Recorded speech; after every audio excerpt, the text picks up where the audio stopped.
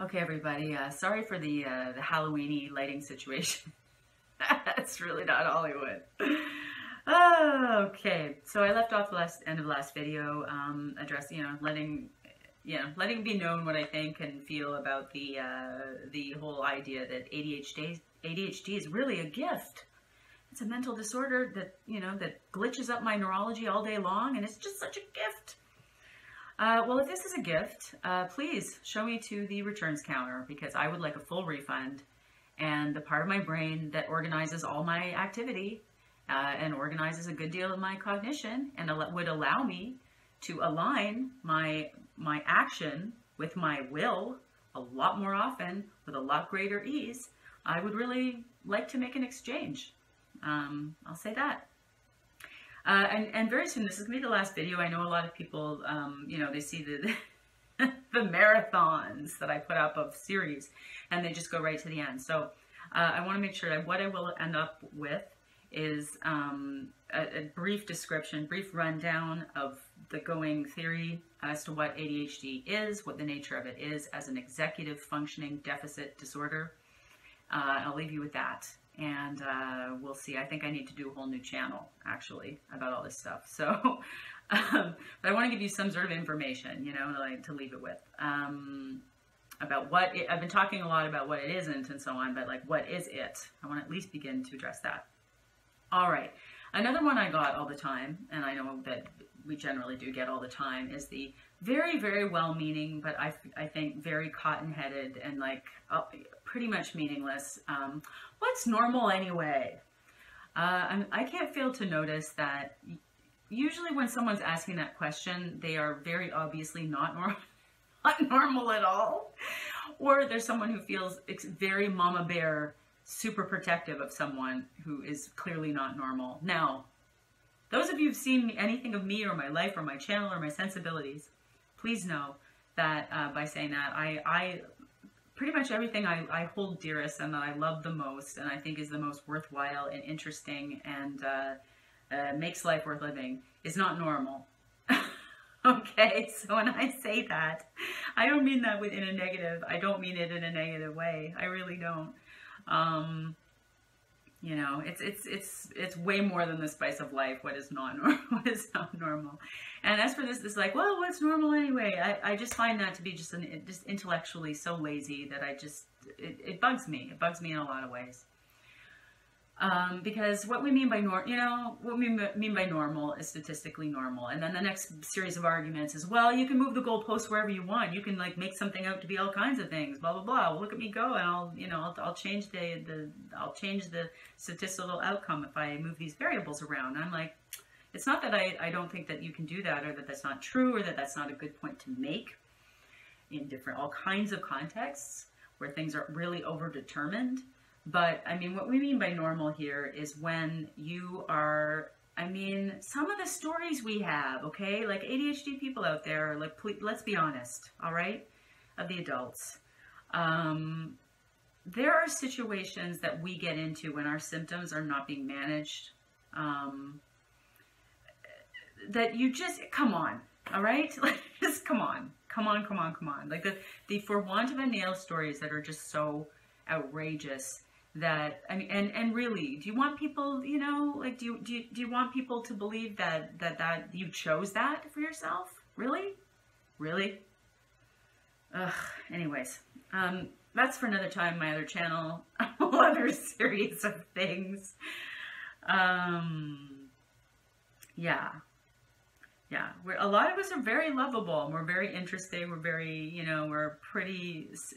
We're we're effervescent, you know, a lot of us, or and we certainly have some cool ideas. And we're uh, one thing that's nice that goes with this disorder quite often is that um, ADHD people are uncommonly, you know, they're reported on. I mean, the, the, the doctors talk about us like this. This is a thing uh, that we're uncommonly warm-hearted, and we're. Um, sorry, I was just thinking of Eric Strauss for a second, and I was like, yeah, what about that? Anyway. um, but yeah, we're, we're, this is true. This holds true. Um, I think for any ADHD person I've ever encountered, part of the, part of the neurological problem here, one of the executive functions that is not working up to the level that you would expect and that you would have if you were neurotypical is one that inhibits your behavior. You are not as inhibited as most people. You don't have as much of a filter. Um, you do not modulate expression of things the way most, the way neurotypical people do. Um, not as or not as often as they do, as consistently as they do, to the same degree that they do. It's one of those variables is is is odd. Let's put it that way. It's odd. Um, and it doesn't mean that it's unwanted all the time. It certainly doesn't mean it's a terrible thing all the time. There's some, there are all kinds of, I mean, again, I, it, it's hard to even begin to estimate, for example, uh, what proportion of people who are stand-up comics who make us laugh so hard um, and point out things that nobody else sees all the time. Like it's, I don't think it's possible to, to overestimate what proportion of that population has ADHD. But so again, there, there are beautiful things that, that come out of it for sure, for sure. But uh, there's a lot of, it makes life a lot harder. And I think that that is a fact, you know, I mean, unless you're, you're living a life where you don't ever have to do anything in a certain way at a certain time, in a certain order, uh, for a certain length of time. You know, if you're living a life like that, then bully for you. Like, how can I get onto your island? You know, please, where's the, where's the ferry? Because in that case, yeah, ADHD is just awesome, and you know, it's just wonderful. again. Okay, sorry. Uh, all right, so rundown then. So, what is ADHD? ADHD is a uh, developmental delay, neurologically based um, performance disorder, mental mental illness. That is is that. Um, performance disorder, the nature of performance disorder, I'll get into this way more in another series, but uh, what that means is very important to know actually, it's key to understanding, is that ADHD people know all the same things that their peers know. Peers in the sense of every statistical uh, category that you can think of, okay? They, we know the same things as those people who have the same intelligence level, the same background, the same culture, the same, you know, uh, education, the same blah, blah, blah on and on the list goes. We know the same things that they do. The other thing is that while emotional dysregulation is a core symptom, it's one of the, it's part of one of the, it's it's an outgrowth, I guess you could say, of one of the executive functions, or uh, the collection of them actually not working properly. Um, and that was a core symptom of the disorder up until the DSM-3 Whereupon it was dropped because ooh, scientists are like, ooh, feelings. Like, you know, it's it, they couldn't come to a, a good, close enough consensus uh, at that point for that for the edition four and TR and and five to um, include emotional dysregulation as part of it.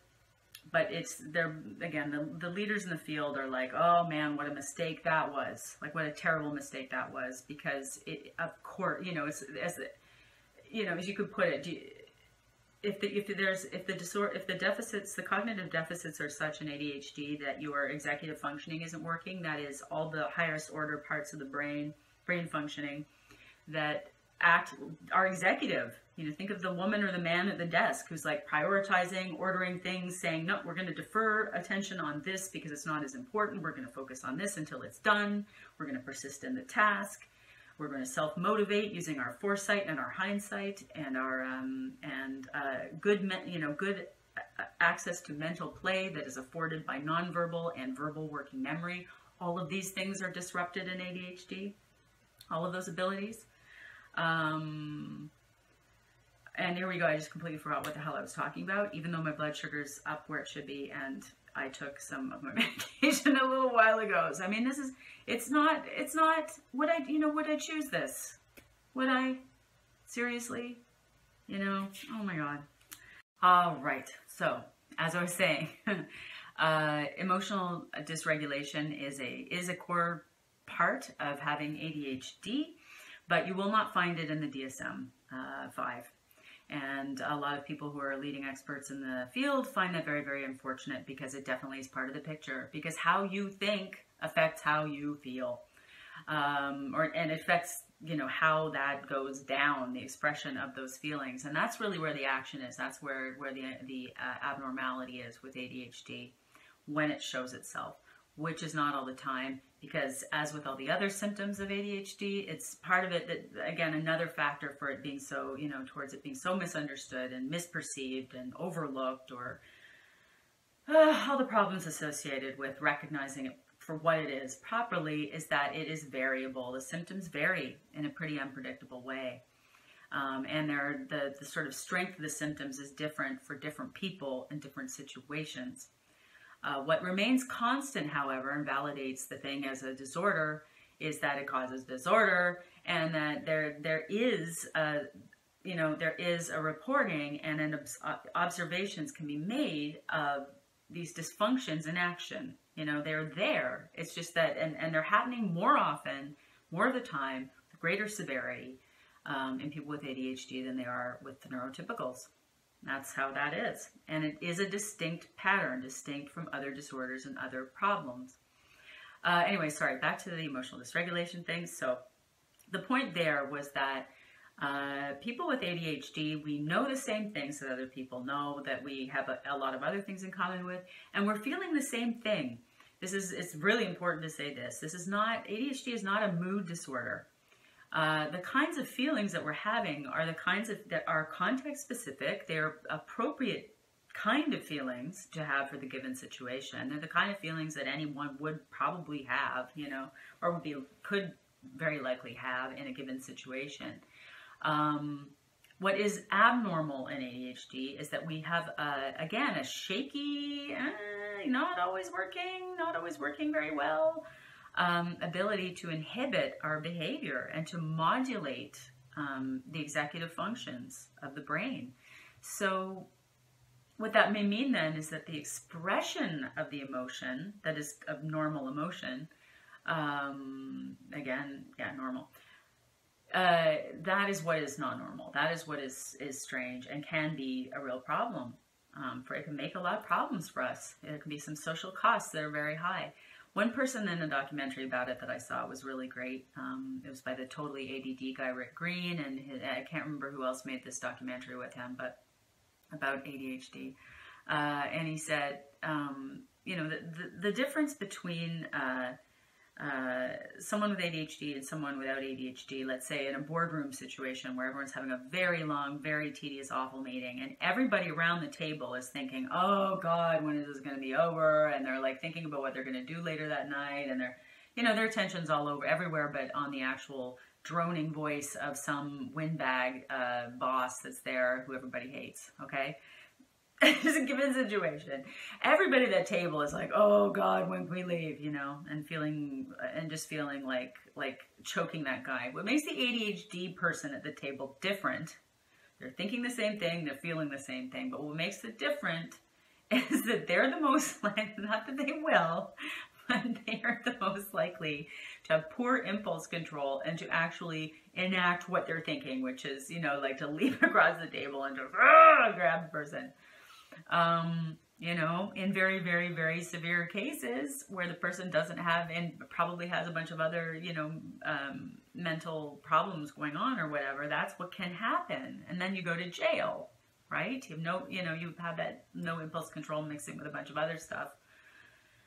Bad scene, bad scene. So there's that. So it's a performance disorder. It's not about skill. It's not about knowledge. It's not about us. Um, uh, if we just learned how to organize ourselves better and pace ourselves better, uh, then we would do better. No, not true. Um, what will help us, thank God there are a lot of things that will help us and help us a whole lot, will help our performance, which is where the problems are um, is our sort of behavioral modification strategies and, and, and use of all different kinds of tools and reminders and just all kinds of whatever works for us to help us remember things and stay on track and to use special mental sort of invocation of certain things to sort of remind us. We, we need to be, we need to remember to remember. That's a, that's an ADHD problem. I, again, it's not that only ADHD people, ADHD people could have this problem, but that's a big problem for us um, is that we don't remember to remember. We don't remember to remember the future. We don't remember, we don't stop and think before we say something or before we act. Um, and you know, and do we do that all the time? Are we all like a total disaster all the time? No, but we do it more often than neurotypical people do. And we, you know, this executive function deficit theory really does account for that stuff. It's it really does. I, I don't know. I don't see any holes in it so far based on what I've learned, and I've learned a lot about it. The whole disorder. So yeah. So I, I actually did give a rundown um, in my spontaneous way. Uh, I gave a rundown of what uh, the main executive functions that are affected um, by ADHD. Uh, and what happens is this: we, we the etiology, like the the etiology of the disorder itself is um, there seems to be a genetic or an epigenetic component to it. Uh, it's very very um, her- hereditary, uh, or there's a strong, I should say, there's a heritable um, a very strong heritability associated with the disorder. So if you have a sibling who has it, or you have a parent who has it, or you have a, ch- a first degree relative who has it, you are at a much greater uh, the the, the uh, likelihood that you too will have it is is very much increased. Um, and that's another reason too why it gets misperceived and, and overlooked and whatever is that very often people will will not recognize that um, their degree of impulse control or whatever is is abnormal. Um, statistically speaking, only. Okay, doesn't necessarily mean that that's always bad, but it's not what neurotypical. It's not at the same rates. It's at, you know rates and measure you know uh, quantifiable um, patterns that for as it is for neurotypical people as a group. Uh, and a lot of people make the objection, well, you know, they don't very often. Here's here's something that clinicians see all the time. Okay, is that a child gets diagnosed with ADHD, and then the parents come in for a meeting so that the the clinician or counselor or educator can explain. You know, it's a clinician usually who can explain to them, okay, this is what it means. You know, we found this out about your kid, and these are the implications, and this is what we we suggest you do, and da da da da.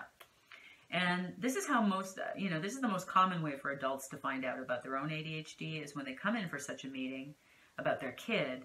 And then when the whole syndrome is, is described to them and, and what the features are, they're saying to themselves, you know, at least one of the parents, if not both, is sitting there going, like doing this. And they're like, oh, that's not normal? That's, oh, Oh, I thought, oh, I thought everybody just does everything at the last minute and is late all the time and uh, blurts things out and interrupts people when they don't really mean to and forgets stuff, uh, you know, doesn't transfer things from short term working memory into long term memory storage uh, properly. And, you know, like they just think, oh, I'm just like my old man, you know, which they probably are because they're old, you know, their dad had it as well. And probably like the vast majority of adults also did not get assessed or diagnosed or help or anything. So, all right. So, just one last look at the uh, the, the executive functions in this theory that are affected adversely by ADHD. And again, you start to see the you know what makes it a disorder. It's at the level and frequency and severity of the impairments associated with these neurological functions are um, they're high they're high and and and this is the crucial part for those that are worried that this is going to be misused all over the place the crucial thing is if for it to be a disorder it needs to be causing harms to that person harms and losses and pain and heartache and suffering and loss of sense of well-being and loss of uh, opportunities and loss of achievement and you know inability to achieve commensurate with um, with potential for that particular person uh, given the givens of the rest of their talents and abilities and circumstances. Um, that stuff is not working right. It's not. It's not. It's not good. What's happening for that person? Um, that's what makes it ADHD. Um, all right. So back to the executive functions, what they are. So you know what? Here are some of the things that go with the executive functions. I spontaneously did the rundown of. Um, things like self motivation, intrinsic self motivation. That is very, very difficult, if not impossible, for ADHD, depending on the person and the circumstance. For ADHD people to generate to a normal level, uh, you know, at the normal frequency, and for them to keep it going for the for the normal length of time that you would want to keep it going, to deal with uh, tasks that are less than scintillating. When tasks are scintillating, this is where you see a performance variability uh, when tasks are scintillating, what's happening is it's it's setting off a bunch of neuro um, neurotransmitter effects in the parts of the brain that are kind of in effect cause better communication to be happening between all the parts of the brain that are are, are interacting to achieve executive functioning, and um, so we can you know there are many many tasks and, and things that we can do. Um, if we find them interesting or we find them like they give us an adrenaline rush, which is what psychostimulants do as well, if we have that kind of correction happening endocrinologically, then you can find we can we can perform quite well. We might be able to perform just as well as anybody else and, and often. But the, the, the thing that makes it abnormal is that we need an intervention to make that happen. It's not happening on its own. The, the dopamine and norepinephrine in our brains is not uh, it, it's being we have too many re- reuptake um, receptor or receptors that are sucking it up before it you know before they can do their job up there and connecting different parts of the brain and relaying messages between the neurons. Ah, it's just it's not working right. So, what else? Another thing I forgot to mention that's associated with those executive functions that are uh, impaired um, with people with ADHD is a sense of time most of us don't have any. We don't have an internal clock. We don't feel. And this is the, one of the most philosophically interesting aspects of ADHD. I'm, I'm a few years after diagnosis, I'm still sitting with this one because the implications are quite, you know, for someone who's you know creative thinking, big picture thinking, the implications are really they could be profound for you know for extenuations of any of the impairments but this one is really like wow you know that one that i'm not experiencing time i do not feel time the way a neurotypical person does, you know. Um, so that's part of the reason we, we, we, we lose track of time. We're just, almost all of our problems as people with ADHD, unmanaged ADHD have to do with time management. Uh, they have to do with being able to marshal one's resources and attention and focus and persistence and self motivation towards a goal in the medium to long term future that would benefit us or that is absolutely necessary to our survival in some cases is to marshal the cognitive executive level resources to consistently pursue and obtain um, achievement of, of goals big and small that lead to uh, you know some sort of you know as much assurance of our future well-being as one can have you know in life that is uncertain. That's what's not going right with us Okay. I will definitely have to be doing uh, other series at other, uh, maybe I, I, am going to do another channel. That's what I'm going to do. But I, that should give you, I think, you know, if, if you had the, you had the patience uh, to follow that anyway, the last part at least. Um, I hope that you know uh, a little something more about ADHD and you know, if you've been struggling along with having a really hard time just getting it together in ways that are very easy, you notice are very easy for a lot of other people and, and plenty of people who may not be nearly as bright as you are in a bunch of ways. But yet you are struggling with like the easy things of life, you know, remembering to buy the milk, you know, stuff like that is just constantly getting you down. Um, then you would know, you know, something what it's like to have ADHD. So, thank you very much for watching and goodbye.